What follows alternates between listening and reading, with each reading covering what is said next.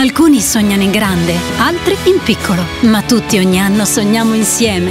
Il 6 gennaio torna la Lotteria Italia, primo premio 5 milioni di euro. Lotteria Italia, il sogno che ci unisce. Il gioco è vietato ai minori e può causare dipendenza patologica.